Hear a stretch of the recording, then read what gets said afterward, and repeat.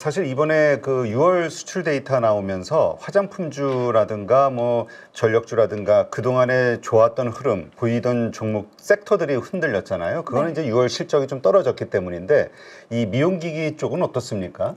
미용기기 쪽은 여전히 수출 자체는 굉장히 좋을 걸로 일단은 현재 예상이 되고 있습니다. 어, 일단은 비올에, 비올이 오늘 상대적으로 가장 좀 흐름이 좋았어서 비올을 좀 초점을 맞춰서 본다면은 어, 일단은 이 미용 의료기기 자체의 성장성은 뭐 당연히 있는 상황이기는 합니다만 어, 일단 의료기기 시장 자체가 굉장히 좀 커지고 있는 상황인데 국내 같은 경우에는 조금 정체돼 있는 상황이거든요. 왜냐하면 일단은 어느 정도 좀 미용 의료기기를 사갈 또 그 업체 병원 들은 다 사갔고 그리고 이 경쟁 자체가 굉장히 심화되고 있는 그런 상황이다 보니까 국내에서 파는 것만으로는 당연히 한계가 있습니다. 그래서 외형 성장을 하기 위해서는 그 수출을 좀 해야 되는데 이 비올 같은 경우에는 수출 모멘텀이 좀 상당히 많이 남아 있는 그런 상황입니다. 어 그래서 일단 뭐 최근에는 중국이라던가 브라질 뭐 이런 국가들로 신규적으로 국가 진출을 좀 어, 예정을 하고 있고요. 그리고 올해 하반기부터는 이제 본격적으로 이 중국 그 출하된 물량들이 좀 본격화될 걸로 걸로 일단 좀 예상을 하고 있습니다. 뭐 신제품 출시에 대한 기대감도 현재 있는 상황이고요. 네, 그래서 일단은 어, 이 비올의 어떤 좀 기대되는 해외 시장 같은 경우에는 좀 주목해 보셔야 되는 게 미국하고 중국입니다. 아무래도 좀 수요처가 가장 큰 시장이기도 하고 여기에서 좀 점유율을 높여놔야지만 좀 수익성을 좀 크게 늘려나갈 수 있는 그런 부분이기 때문에 그 점에 좀 주목을 해보셔야 되는데 어, 일단은 기존의 가장 판매 비중이 높은 지역이 비올 같은 경우에는 미국이었습니다. 음. 근데 이제 중국 쪽으로도 비중을 높여 나갈 걸로 현재 좀 예상이 되고 있습니다. 왜냐면은 어 이제 2분기부터 본격적으로 중국 쪽으로 미용 그 기기 장비를 이제 매출로 반영을 시킬 거라고 현재 예상이 되고 있는 그런 상황이라고 보시면 좋을 것 같은데요. 이제 올해 3월 달에 그, 그 비율 주가 보시면 아시겠지만 올해 3월 달에 좀 탄력적으로 상승이 나온 적이 있었습니다. 이때만 해도 한 70% 가까이 상승이 나왔었는데 이때 이유 자체가 그 중국 정부한테 그 판매 승인을 받았다 이런 이슈가 있었습니다. 이 비율 같은 경우에는 판매 그 판매하는 미용 의료기가 실펌엑스라고 해가지고 어 이게 그 고주파랑 마이크로 니들이 같이 좀 접목돼 있는 그런 미용 의료 기기라고 생각하시면 될 것 같은데 이 기기 자체가 중국한테 판매할 수 있다. 요 승인을 받았어요. 한국의 이 식품안전의약처한테 음. 승인을 받은 거랑 똑같다고 보시면 좋습니다. 그래서 일단 중국에서 안에서 유통을 하기 위해서는 이 중국 정부로부터 승인을 받아야 되는데 이 승인을 올해 3월 달에 받았다라고 보시면 좋을 것 같고요. 어, 특히나 기존에는 이 중국의 그 유통 자체가 조금 그 중국이 유통을 되게 뭐라고 해야 될까요? 제한을 많이 하고 있었다고 해야 될까요? 네, 그렇다 보니까 기존의 유통업체들이 유통을 좀 잘 못하고 있는 그런 상황이었었습니다. 근데 공식적으로 어떤 좀 수출 활로가 뚫렸다 이런 기대감이 좀 같이 현재 있는 상황이라고 보시면 좋을 것 같고요. 기존에 이전에 그 2022년도에 중국 기업하고 이 그 실펌엑스라는 그 기기에 대한 어, 매출 계약을 맺었었습니다. 근데 이제 그게 본격적으로 올해 2분기부터 반영이 될 거라는 그런 기대감이 현재 있는 상황이라고 보시면 좋을 것 같고요. 네, 그리고 아까 또 미국도 언급을 했었는데 미국 같은 경우에는 작년 3월에 이제 그 소송 이슈가 있었습니다. 음. 작년 3월에 그 마이크로니들 RF 관련해가지고 마이크로니들이라고 하면 정말 그 미세한 그 바늘 있잖아요. 네. 네, 그거랑 고주파랑 같이 그 이게 협 그 같이 있는 네, 그 기기가 이제 실폼엑스라고 얘기를 드렸었는데 이 마이크로디들 RF 관련해서 그 본인들의 특허를 그 침해했다라는 이슈로 한 열 개 정도 기업에다가 이 비올이 소송을 걸었습니다. ITC 소송 이슈가 있었어요. 네, 근데 이게 점차 좀 이제 윤곽을 드러내고 있는 게 어, 이루다나 뭐 루트로닉도 다 여기 포함이 돼 있거든요. 근데 이루다나 루트로닉을 포함해서 열 개 기업 중에 일곱 개 업체에 대한 어떤 어, 중도 합의가 현재 이루어진 그런 상황이고요. 그러니까 승소한 거죠. 네, 이제 이것만으로도 어떻게 보면은 비올의 어떤 좀 기술적인 능력이라던가 이런 것들을 좀 인정받았다 이렇게 좀 보시면 좋을 것 같고요. 어, 일단은 이 비올의 이번 연도 1분기의 영업이익이 예상치를 상회했거든요. 1분기 영업이익이 굉장히 좋게 나왔습니다. 매출액은 뭐 기존의 예상치와 좀 부합을 했는데 영업이익 같은 경우에는 예상치를 조금 뛰어넘는 그런 모습이 좀 나타났어요. 1분기는 아까 말씀드렸다시피 비수기인데 그럼에도 불구하고 좀 surprise가 나왔다라고 해서 이게 대체 무슨 일일까라고 좀 살펴보면은요. 일단은 그그 영업이익 관련이 그 이전에 소송 관련해서 기술 이전 계약이 좀 들어온 거라고 보시면 좋을 것 같습니다. 그 네. 금액이 반영이 된 거죠. 그래서 그게 그대로 로열티랑 그 일시금이랑 이런 것들이 합산돼서 14억 원 정도가 되는데 그게 영업이익에 그대로 좀 반영이 된 거라고 보시면 좋습니다. 근데 아직까지 합의금이 다 반영된 게 아닙니다. 음. 수치를 다 한 게 아니고 앞으로 추가적인 합의금 수치가 있을 걸로 현재 기대를 하고 있습니다. 일단 ITC 소송 판결 같은 경우에는 올해 한 11월 정도에 어, 좀 완결 완결이 아니죠. 예, 결판 음. 결론이 날 거라고 생각을 하고 있는데 네, 일단은 어, 올해 안에 로열티 규모 정도를 좀 파악할 수 있을 걸로 생각을 하고 있습니다. 그래서 특허 관련해서 로열티에 대한 어떤 기대감도 현재 있는 상황이고 그리고 합의금에 대한 기대감도 현재 있는 상황이고 그래서 일단은 이런 guidance 자체가 이런 합의금이라던가 로열티 이런 것들이 완전히 반영된 수치가 아니기 때문에 좀 깜짝 surprise, 깜짝 수익 이런 것들이 좀 있을 수 있다. 이런 것들을 좀 기대를 해보시면 좋을 것 같습니다. 어, 그래서 일단은 특허 존속 기간 같은 경우에는 2036년까지라고 보시면 좋은데 어, 그때까지 이제 북미 시장 어떤 점유율 자체를 뭐 별다른 이슈 없이 좀 늘려나갈 수 있을 거라고 기대를 하고 있기 때문에 가장 큰 시장인 미국이랑 중국까지 다 잡았다라는 점에서 비올에 대한 좀 기대감을 높게 평가할 수가 있을 것 같습니다. 네. 네. 어, 그렇다면 지금 valuation에서도 추가 상승을 계속 기대해 볼 수 있다라는 쪽으로 보시는 건가요? 네, 일단은 지금 아까도 말씀을 드렸다시피 그 수급적인 측면 있잖아요. 제이시스 메디칼이 이제 지금 현재 공개 매각에 들어간 상황이고 그러면서 이 추가적인 수급에 대한 기대감이 현재 있는 상황이기 때문에 그런 점에서도 충분히 긍정적으로 볼 수가 있고 그리고 현재 이런 미국이라던가 중국 그리고 그 매출 기대감 이런 것들이 계속 좀 잔존을 하고 있는 그런 상황이기 때문에 추가적인 탄력도는 저는 충분히 좀 기대를 해볼 수가 있다라고 생각을 하고 있고요. 다만 이제 그 앞서서 수급 관련해서 그 제이시스 메디칼이 뭐 공개 매각 들어가서 그런 이슈로 인해서 뭐 수급적인 좀 기대감이 있다라고 말씀을 드린 부분에 대해서는요. 공개 매각이 보통 끝나고 나면은 작년에도 좀이 그 좀 주가를 보시면 아시겠지만 작년에 그 루트로닉 같은 경우에는요. 어, 공개 매각이 이제 8월 달에 끝났습니다. 근데 보시면은 요때가 8월이거든요. 이게 잠시만요. 좀 표시를 하겠습니다. 네, 이때가 8월인데 8월 달에 고점 찍고 이렇게 쭉 밀린 거 확인이 되실 거예요. 그래서 그 전까지는 좀 이런저런 기회, 기대감으로 이렇게 쭉 상승이 나왔다가 8월 달에 공개 매수가 끝나고 나서 쭉 밑으로 하락이 나왔습니다. 물론 장기적인 추세로 봤을 때는 우상향을 하고 있지만 단기적인 좀 조정이 있을 수 있다라는 점. 그래서 이거는 뭐 클래시스라던가 다른 의료기기 미용 업체들 같은 경우에도 좀 비슷한 주가 흐름을 보였기 때문에 일단은 그 제이시스 메디칼의 공개 매수 끝나는 시점이 7월 22일이다라는 점은 조금 인지를 해 두셔야 될 것 같고요. 그 전후로 해서 좀 변동성이 있을 수 있으니까 네, 그런 점들은 좀 인지를 해 두시고 그 전까지는 충분히 조금 더 탄력을 좀 받을 수 있겠다 이렇게 좀 생각을 하고 있습니다. 네. 오늘 하이로닉도 좀 비슷한 움직임을 좀 보였는데 어, 그동안 좀 급등 후에 또 여러 가지 좀 조정을 한 5일, 6일 동안 뭐한 5일 겪었군요. 그러다 이제 오늘 이건 기술적 반등으로 봐야 됩니까? 어떻게 봐야 돼요? 근데 하이로닉 같은 경우에는 좀 그동안에 다른 미용기기들 대비해서 좀 저평가돼 있다라고 좀 판단을 할 수가 있습니다.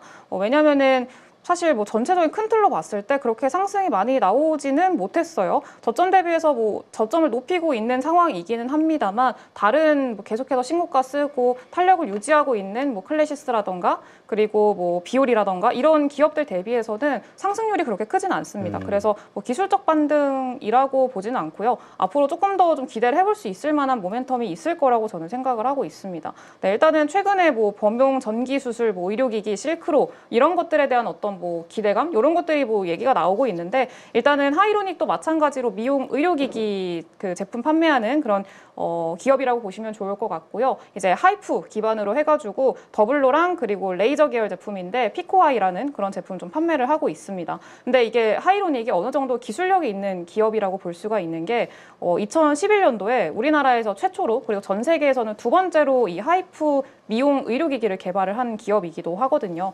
네, 그래서 일단은 그런 점에서 좀 기술력을 어느 정도 확보하고 있는 기업이구나라는 거를 좀 보시면 좋을 것 같고요. 그리고 이 하이 그 주력 제품이 브이로 그리고 어, 피코아이 이렇게 좀 판매를 하고 있는데 수출 비중이 60% 이상이 됩니다. 일단은 뭐 중국 중심으로 좀 판매를 하고 있는데 점차 북미 쪽으로도 어, 수출 비중을 좀 늘리고 있는 그런 상황입니다. 어, 그리고 이제 미용 의료기기의 산업 자체가 음. 특징이 최근에 미용 의료기기 업체들이 아무래도 경쟁이 많이 심화되고 막 이렇다 보니까 좀 전략을 소모품을 많이 판매하는 전략으로 바꿨거든요. 네. 그래서 소모품 비중을 많이 늘리는 걸로 애초에 소모품이라는 것 자체가 그 뭐 팁이라던가 이런 것들이 있잖아요. 네, 그런 것들을 이제 그런 것들을 보면 원가가 한 10%에서 20% 정도밖에 되지 않습니다. 수익성이 굉장히 좋다는 얘기고요. 그래서 일단 이 소모품을 많이 판매를 해서 좀 수익성을 늘려나가는 이런 전략들을 많이 가져가고 있는데 어, 하이로닉 같은 경우에는 상대적으로 그게 조금 늦은 편이기는 했습니다. 어, 기존의 뭐 비올이나 클래시스 같은 경우에는 여- 애초에 영업이익률 자체가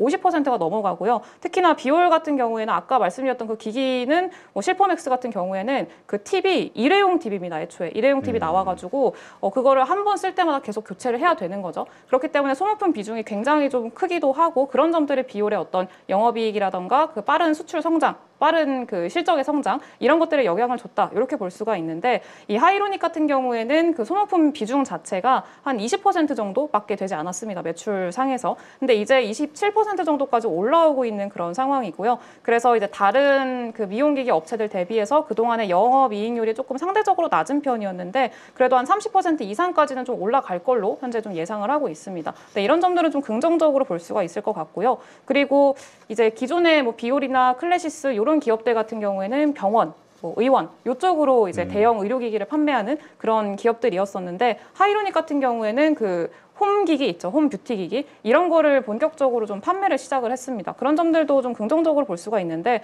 좀 라인업을 강화하고 있는 그런 상황이라고 보시면 좋을 것 같습니다. 그래서 홈세라라고 해가지고 그 개인 피부 미용 의료기기 요거를 출시를 했습니다. 네, 홈세라도 마찬가지로 그 HIFU 기반으로 그 미용 기기 HIFU 기반으로 만들어진 미용 기기라고 보시면 좋을 것 같고요. 일단 홈세라 자체가 그 판매 단가가 굉장히 높습니다. 그래서 판매가가 한 160만 원 정도 되더라고요. 네, 그래서 일단은 개인들이 그거를 또 그냥 한 번에 이렇게 사기에는 조금 부담감이 있으니까 요즘에 그 하이로닉이 하는 게 그 월 구독 이렇게 해가지고 한 달에 한 14만 9천 원 정도 내면은 이걸 이용할 수 있도록 하는 어, 그런 것도 하고 있더라고요. 네, 그래서 일단은 이 홈세라 주요 매출은 지금 현재 중국에서 좀 나고 있는 그런 상황이고요. 시술 뭐 횟수가 늘어나고 그러다 보면은 당연히 소모품 매출도 좀 나올 걸로 좀 기대를 하고 있습니다. 그래서 일단은 미용 의료기기는 좀 소모- 소모품 매출이 얼마나 나느냐 요거에서 이제 영업이익률 싸움이 되는 건데 어, 그쪽 측면에서는 상당히 긍정적으로 좀 해석을 할 수가 네, 있을 것 같습니다. 그래서 일단은 중국 같은 경우에는 제가 중국 쪽으로 매출이 좀 나고 있다라고 말씀을 드렸는데 어, 한 4차로 이제 좀 수출 그 계약을 맺은 걸로 현재 나와 있는 상황입니다. 네, 그래서 일단 홈세라가 이제 상반기까지 한 3천 기기 정도 공급을 한 걸로 추정을 하고 있는데 일단은 뭐 24년부터 올해부터죠. 올해부터 계속 좀 추가적인 수주가 좀 나오지 않을까 이런 가능성들이 현재 제기가 되고 있는 그런 상황이라고 보시면 좋을 것 같습니다. 그리고 네, 홈세라는 일단은 뭐 그 카트리지라고 하는데 카트리지 자체를 이제 보통 한 1년에 두 번 정도 교체를 합니다. 그래서 그런 것까지 좀 계산을 하면은 이제 중국 에 수출하는 그, 그 홈세라 기기 1000대당 한 4억 원 정도 매출이 날 걸로 현재 기대를 하고 있는데 현재 한 3,000기 정도 판매를 했으니까 어, 이 정도면은 뭐 충분히 4억 원에 4, 4 30이 하면은 12억 원 정도. 네. 그리고 네, 하반기에는 한 하반기까지 합치면 그래도 한 7,000대 7,000대 정도 판매할 수 있을 거다. 이런 전망도 현재 나오고 있는 상황입니다. 네, 그래서 한 2, 30억 정도 추가적으로 매출 좀 반영될 가능성 좀 제기되고 있으니까 그런 것들도 참고를 해보시면 좋을 것 같습니다. 네. 참 이거 보면은 네. 우리가 또 역시 근본적인 고민에 들어갈 수밖에 없어. 비올 같은 경우 보면은 아까 PER forward 기준으로 한 어, 17배 네. 뭐 이렇게 된단 말이에요. 근데 지금 이 하이로닉 같은 경우는 한 11.5배. 네. 그러면은 분명히 싸. 근데 우리가 이제까지 계속 얘기하는 게 대장주에 올라타라. 네, 대장주가 꺾이면 이건 더. 꺾이니까. 맞습니다. 이런 것들이 막 헷갈려요. 그래서 네. 만약에 미용 의료기 기주를 산다면 네. 무엇을 살 것이냐 여기에서 또 어, 기로에 서는 네. 그 수밖에 없네 또. 네, 맞습니다. 선택에 항상 좀 갈림길에 있는 것 같은데 요즘에는 저는 요즘 시장이 너무 좀 정신이 없더라고요. 네. 네. 요즘 하여튼 뭐 너무 이 빠르게 이. 급등락들이 결정이 돼 버려서. 근데 지금 말씀하신 것처럼 이제 어, 우리 병원에서 사용하는 의료기기들 말고 네. 가정용이 좀 요새 핫하게 네. 나오는 것 같아요. 지금 APR이 네. 그 주도적인 역할을 하고 있는 것 같은데 네. 이 성장성 그다음에 2분기 실적에 대한 기대감 어느 정도 지금 상황입니까?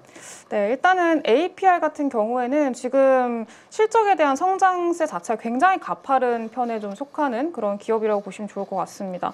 어, 일단은 뭐 영업이익 자체가 분기가 아니고 연간으로 보게 되면은 이제 올해 한 천억대, 그러니까 작년에 300억 대였는데 올해 천억 대로 거의 세 배 정도 어, 늘어났고요. 그리고 아니죠 작년이죠. 작, 재작년에서 작년 천억대로 늘어났고 올해까지는 1,400억대 그리고 내후년까지는 뭐 2,200억대까지 가파르게 상승을 할 걸로 현재 예상이 되고 있습니다. 그래서 일단은 성장세 자체가 굉장히 좀 빠르기 때문에 그런 것들에 대한 기대감이 일단 주가상으로 반영이 현재 되- 최근까지는 되고 있는 상황이었습니다만 어, 일단은 좀 단기적으로 봤을 때는 어제 좀 투매가 많이 떨어지는 상황이었어요. 한 마이너스 10% 정도까지 아, 많이 빠졌네. 네, 빠지면서 마감을 했습니다. 그래서 주요 좀 이평선 이라고 해야겠죠. 이 21선도 이탈한, 이탈하는 그런 흐름들이 좀 나타났는데 어, 일단은 뭐 사실 뭐 이 기업에 대한 어떤 훼손이나 이런 것들은 뭐 전혀 없었, 없었습니다. 왜냐하면 APR 일단 실적은 너무 잘 내고 있는 상황이고 어, 주주 가치 제고를 위한 뭐 이런 자사주 매입이라던가 이런 것들도 굉장히 많이 발표를 합니다. 올해만 하더라도 세 번째로 발표를 했더라고요. 네, 그래서 지금 뭐 원래 상장 이후에 거의 한 네 달 만에 어, 주주 가치 제고를 좀 내놓은 그런 상황이고요. 어, 일단 600억 원 정도를 좀 자사주 매각을 하겠다 이런 내용을 좀 발표를 했었습니다.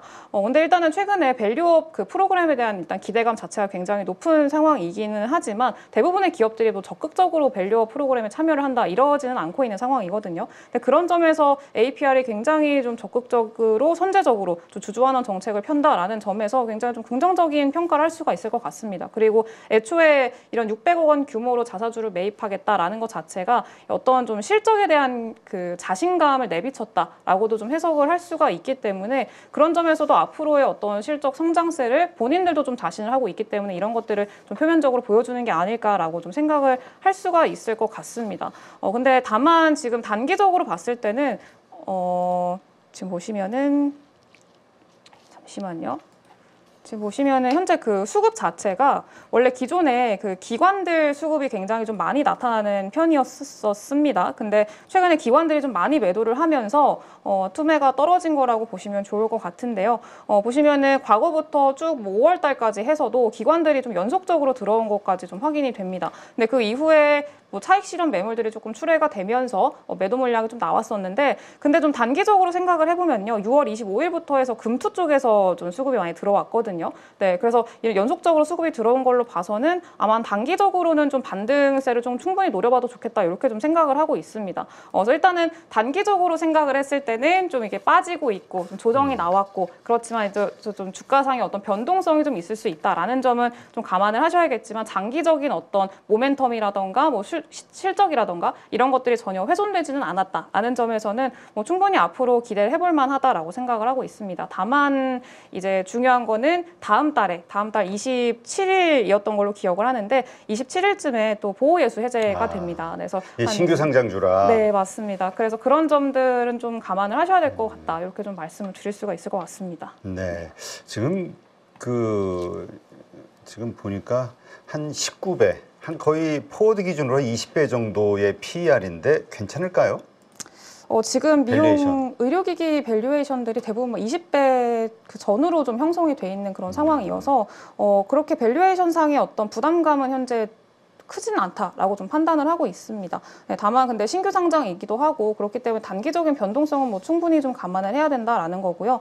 어, 일단은 단기적으로 좀 이 APR을 매수하신 분들 그리고 매수를 좀 생각하시는 분들 같은 경우에는 제가 기존에 말씀을 드렸던 보호예수 해제, 해제에 대한 부분 어, 그런 것들은 좀 참고를 해주셔야 될 것 같고요. 그리고 차트상으로 봤을 때는 지금 하단에 61선 현재 있는 상황이거든요. 일단은 61선 지지를 일단 일차적으로 받쳐주는지 여부를 좀 확인을 하셔야 됩니다. 이 가격대가 32만 원 정도 되거든요. 그래서 여기서 좀 지지 받쳐주지 못하고 특히 뭐 내일 같은 경우에 조금 중요할 것 같은데 내일 좀 그래도 반등이 나와주지 않으면은 어, 조금 단기적으로는 좀 낙폭을 확대할 수 있는 구간이기 때문에 그런 점들은 좀 참고를 하셔서 어, 주의를 하셔서 매매에 좀 참고를 해보시면 좋을 것 같습니다.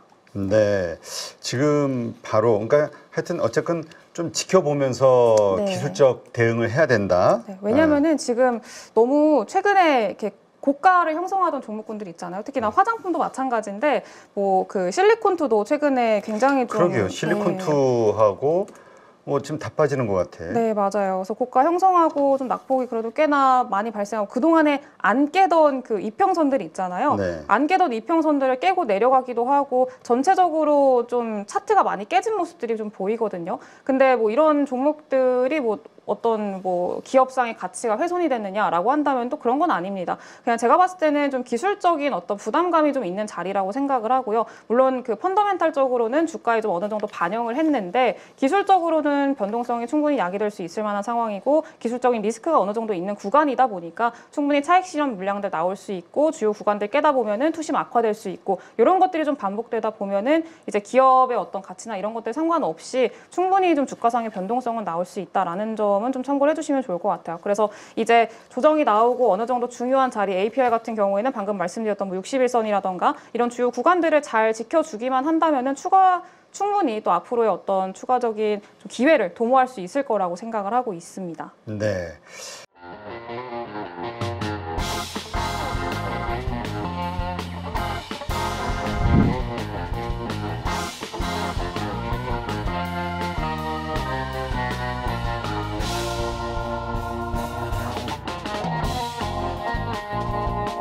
네, 어, 여기저기서 많이 또 강의도 들어보시고 그리고 또 기법이라고 하는 것도 많이 또 체크해 보시고 어, 적용시켜 보셨을 것 같습니다. 그런데 결과가 좋으십니까? 이거는 저희 클래스만의 강점이 될 겁니다. 네, 어, 섹터 분석을 왜 해야 되고 그리고 어떤 섹터가 어, 어떤 섹터가 갔었을 때 이를 어떻게 초기에 접근하는지에 대한 여러 가지 방법들 생각을 많이 하게 되는데 그에 따른 키포인트들을 알려드리고요. 김 대표는 이렇게 상업 분석한다. 그리고 또 거기서 종목을 찾는다 라고 하는 여러 가지 어, 기법들 그리고 그에 따른 효과들을 충분히 노리실 수 있게 하나하나 세부적으로 말씀을 드리고요. 거심 종목까지 같이 스터디를 하시면서 충분히 시장을 끌어가실 수 있도록 그렇게 말씀드리도록 하겠습니다. 네, 라이브를 충분히 활용하겠습니다. 어, 거기서 나오는 질문들 그리고 또 매매하시다가 요건 요런 때 참 애매할 텐데 라고 하는 제가 겪었던 부분들 그대로 담고 또 문의가 들어오게 되면 충분히 안내를 드리겠습니다. 이거는 저희 클래스만의 강점이 될 겁니다.